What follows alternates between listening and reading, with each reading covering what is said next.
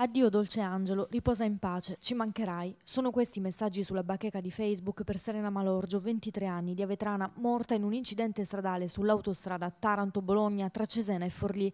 Con lei hanno perso la vita la suocera Liliana Palito di 57 anni e sono rimaste gravemente ferite le due figlie gemelle di Serena, due bimbe di soli 16 mesi. Ferito anche un uomo di 63 anni, compagno della 57enne. Era proprio lei a guidare l'auto, una Mercedes classe A, quando ha tamponato un camion dell'ANAS fermo per delle manutenzioni. Lo schianto è avvenuto poche ore dopo la partenza da Vetrana, dove la famiglia aveva incontrato altri parenti per un matrimonio. Serena stava ritornando dal compagno, rimasto a Varese per lavoro. L'uomo ha perso moglie e madre nell'incidente e le sue figlie sono in condizioni gravi.